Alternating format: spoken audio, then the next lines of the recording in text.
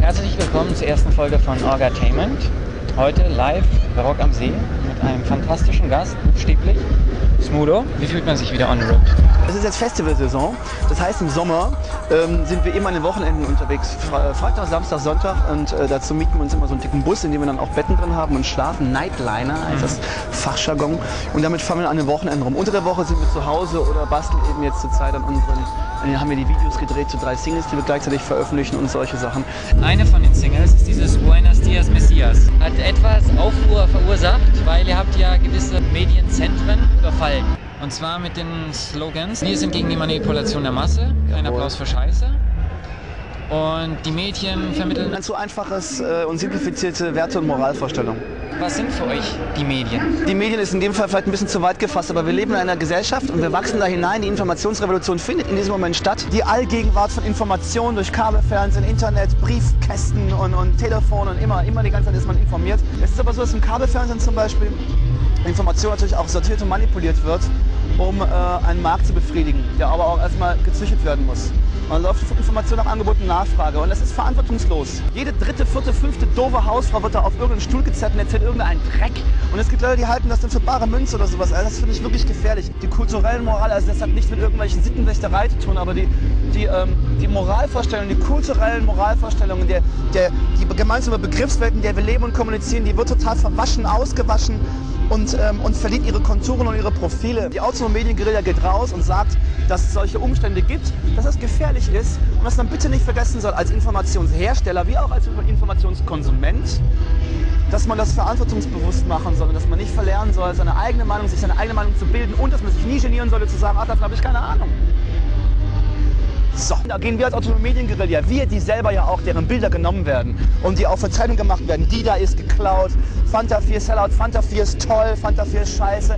Die nehmen unser Bild und, und benutzen es überall und, und arbeiten damit ja und machen damit neue Informationen und machen Klischees. Wir gehen dann endlich mal zu diesen Leuten, die diese Bilder machen von uns, diese Abziehbilder von uns machen, halten eine Kamera ins Gesicht und schon werden sie beleidigt und rufen die Polizei. Wen habt ihr genau überfallen? Wieso genau diese? Das war ein logistisches Ding in vielerlei Hinsicht. Die Idee ist geboren aufgrund des Songs. So viel auch zu dem Vorwurf dass das der PR-Aktion ist. Selbstverständlich ist es auch eine PR-Aktion, aber es ist auch ein ernst gemeinter Inhalt. Und dann war es in Berlin. Also dann haben wir erstmal von unserer Produktionsbüro unheimlich viele äh, Sachen, die äh, in Berlin passieren, gesagt. Ob das jetzt von einer lesbischen Frauensauna bis hin zum äh, Kleintierzüchterverein-Treffen bis hin zur Verleihung des Deutschen Filmpreises ging. Hatten wir alles auf dem Zettel gehabt. Später haben wir herausgefunden, nein, es geht jetzt speziell um die Meinungsmacher. Also fingen wir an, Medien zu nehmen. Und da gibt es halt in Berlin, jetzt ist es eine gewisse beschränkte Auswahl. Du hast halt äh, äh, das Film- und Fernsehzentrum in Babelsberg, da hast du halt seit eins gute Teile schlechten Zeiten und da wurde gerade der Otto-Film gedreht. Aber der ist gescheitert, oder? Äh, der Otto-Dreh ist geschaltet. Ja, weil die haben uns halt raus. die haben uns voll geil erwischt. Ähm, klar, wir, wir, ich finde, wir hatten, dass das der einzige Auswahl war, eine ziemlich gute, gute Trefferquote gehabt. Wie waren denn die Reaktionen auf die Mediengorilla? Die Sat 1 sind total sauer auf uns, aber der Programmchef findet es richtig cool. Hat gesagt, er hat vor 15 Jahren unsere Platten aufgelegt, was mich sehr interessiert, was mich total interessant finde, weil wir erst seit 10 Jahren Fanta 4 sind. Die Fans unter unterscheiden sich in die äh, Fans, die uns grundsätzlich und fast blindlings gut finden, weil wir so abwechslungsreiche Sachen machen, weil wir Dinge machen, über die Musik hinausgehen, die fanden das toll. Und dann gab es welche, die gesagt haben, ach, das bringt's doch nicht, ihr benutzt doch selber die Medien aus. Da muss ich sagen, nur ein Sünder kann geläutert werden. Ich kann doch nicht gegen irgendwas protestieren, wenn ich nicht weiß, wovon ich da spreche. Ich habe eine kompetente Meinung, was dieses Thema angeht, deshalb kann ich auch dagegen protestieren. Ähm, und es gab welche, die gesagt haben, ja, ähm, das bringt's doch nicht, das gucken doch nur doofe Leute, ihr müsst eine Diskussionsveranstaltung machen. Auch denen sage ich, wenn ich jetzt an die Universität gehe und Diskussionsveranstaltungen mache, rede ich mit Leuten, die das sowieso schon wissen.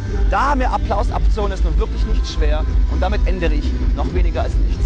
Immerhin haben wir es mit der Aktion gerade in so billige Blätter wie die Bild geschafft und die bunte. Und die Mühlen der Information laufen nun mal über die großen Kanäle für Diskussionen. Hier ständig, du kommst und redest mit mir darüber. Und wir haben diesen Videoclip und der führt auch in Diskussionen.